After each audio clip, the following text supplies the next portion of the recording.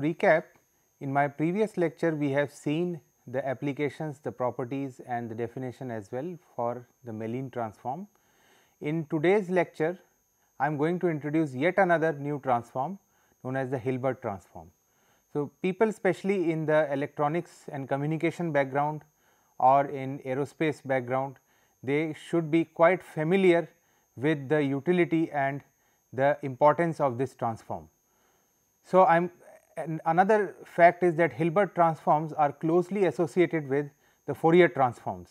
In particular, we will see that Hilbert transforms are the product of the Fourier transforms in the convolution sense. So, without waiting much, let us look at what are these transforms. So, Hilbert transforms have lot of applications. So, before we move on to the definition, I wanted to highlight the applications of Hilbert transforms which are not limited, but definitely present in these areas. So, we will see lot of applications in the areas of fluid mechanics, in the areas of aerodynamics and signal processing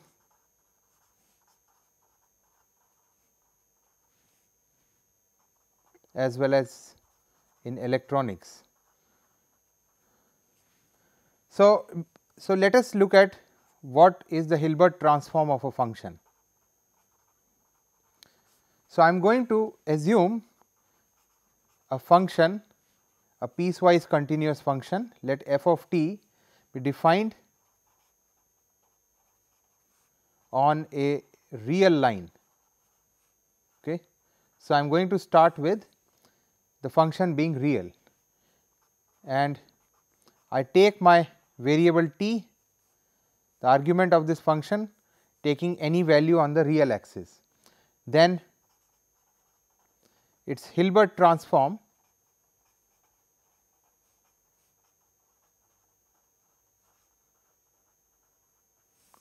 f of h.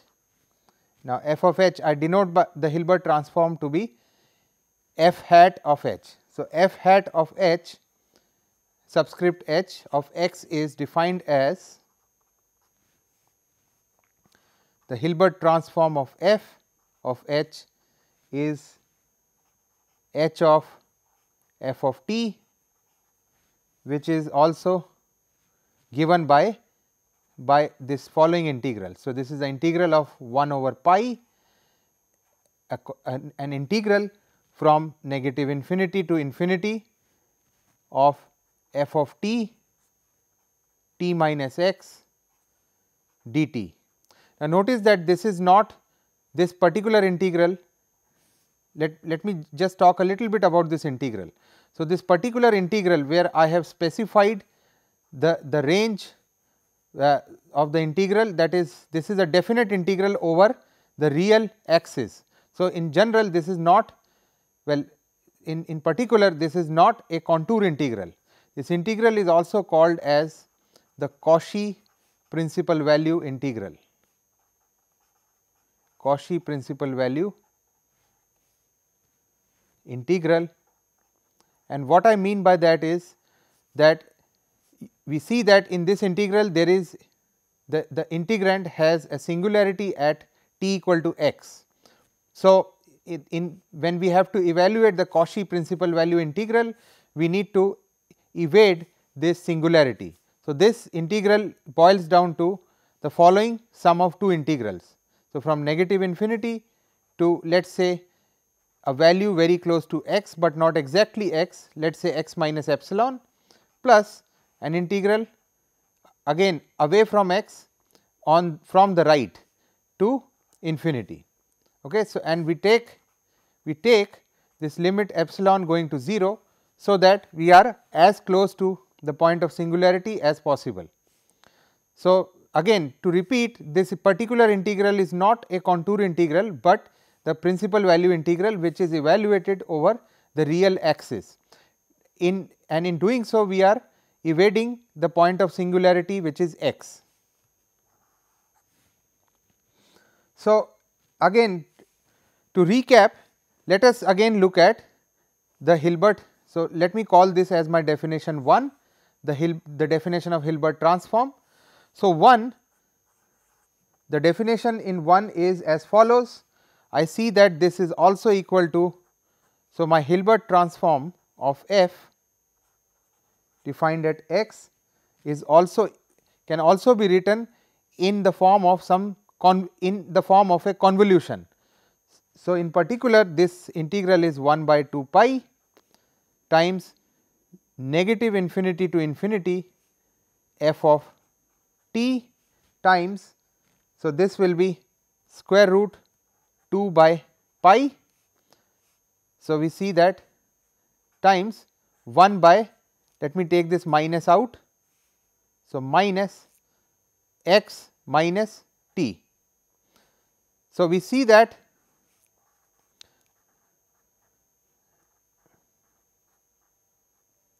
this particular integral is written in the form of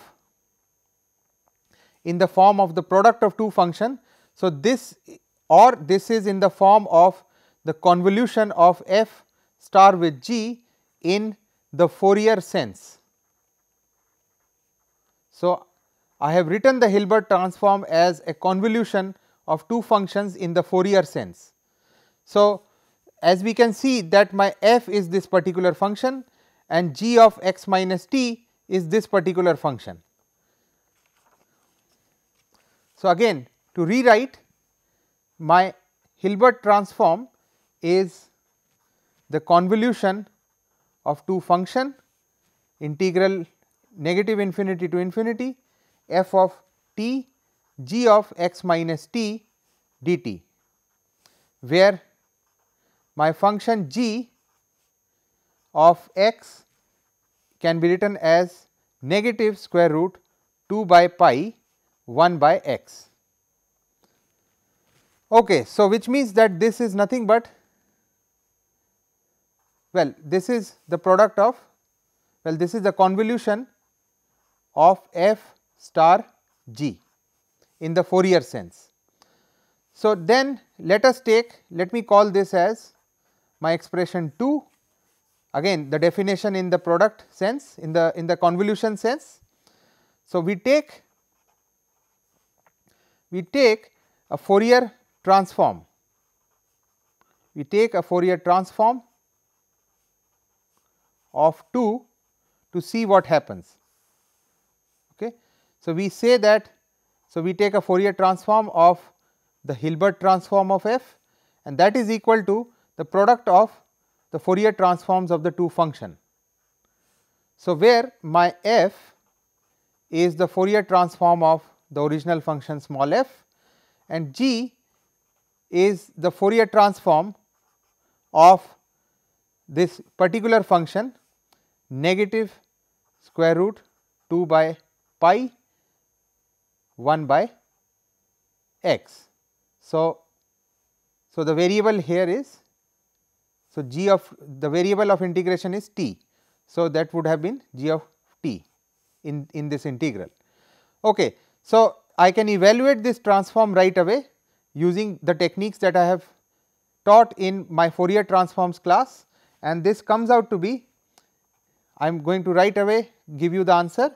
This is iota, iota is the complex square root negative 1 sine of k. So, which means that my Hilbert transform let me say capital F h which is nothing but the Fourier transform of the Hilbert transform this is f times g or I get that my f is the Hilbert transform divided by g of k. Now, g of k I know what is g of k this is I can uh, again rewrite this expression as f of h times negative i sine k. Okay.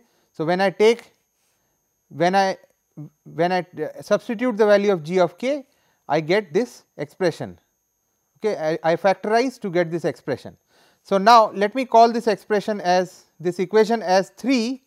So, I am going to take my inverse inverse Fourier transform I am going to take my inverse Fourier transform of 3 to get the following. I see that f of x or let so f of x is equal to 1 by square root 2 pi integral negative infinity to infinity f of k e to the power i k x dx okay, uh, dk. Okay. So, I get that this is also equal to 1 by square root 2 pi integral negative infinity to infinity the, the Fourier transform of f k capital F k is given here I get that this is equal to f h f h at k times negative i sin k okay, times e to the power i k x d k. Okay. So, then let us look at this expression. So, if I take this minus out of the integration, I see that this particular integration is nothing but again the inverse of the convolution of f h that is the Hilbert transform times negative g of x. So, we see that we see sorry uh, well the negative is outside. So, this is the Fourier transform of g of x. Okay, so, what I have just mentioned is the following f of x is negative it is negative integral negative infinity to infinity the Fourier transform of the Hilbert transform of f times the Fourier transform of g e to the power i k x d k. So, this is again we see that this is of the convolution form f of h. So, this is nothing but the Fourier transform of f h times Fourier transform. This is the Fourier transform of f h times the Fourier transform of, of g and then we are taking the inverse Fourier transform of the product of these two Fourier transforms. I am going to get that this is nothing but f h convolution with g, but with a negative sign here outside. So, I put a negative sign and I see that this is also equal to when I use the definition of this convolution I get that this is negative integral to in infinity to infinity f of f h hat d let us define a new variable which is our integration variable f h hat d zeta d zeta times t minus zeta. Or this is nothing but the Hilbert transform of my function f h hat zeta. So, what I have shown here is that so on the left hand side f of x is nothing but the Hilbert transform inverse of the Hilbert transform of f. Okay. So, this becomes Hilbert transform of f. So, what I have shown here is that the Hilbert inverse, the inverse transform of a particular function is well with a minus sign is negative of the Hilbert transform or I see that the Hilbert transform of the Hilbert transform of the function f gives me negative of f. Okay. So, so in this particular example the, the transform inverse of the transform is the, the same transform with a negative sign. So, the inverse transform is nothing but the same transform with a negative sign. Okay. So, so that defines my Hilbert transform as well as the inverse. So, this is my definition of the inverse Hilbert transform. Okay. Okay, or I can use this as my definition. Let me call this as as 4. So, the inverse of the Hilbert transform is defined here by this ex expression on the right hand side which I call it 4. So, moving on. So, before I move on there is just one more uh, one more comment that I want to pass on.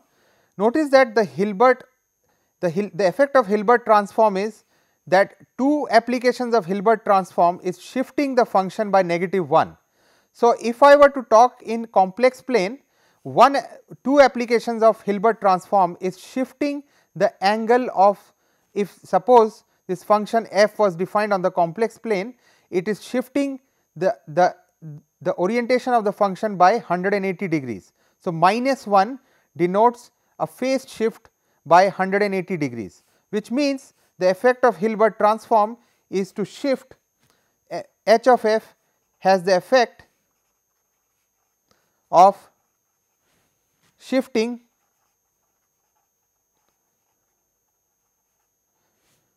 shifting the Fourier wave number Fourier wave number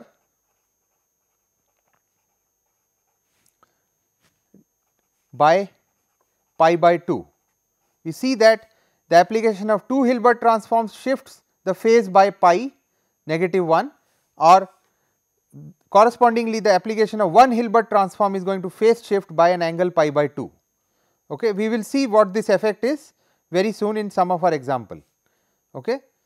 So, well, so just to give you an idea, it means that if I were to use h of let us say example, if I were to find the Hilbert transform of some Fourier coefficient let us say cos of omega t, we see that we will evaluate this to find that this is nothing but cos this is equal to sine of omega x or this is nothing but equal to cos of omega x minus pi by 2. So, once we evaluate the Hilbert transform which we will see next, we will see that the effect is to phase shift the function the, the Fourier wave number of the function by pi by 2. Okay. Okay, so let us look at some examples.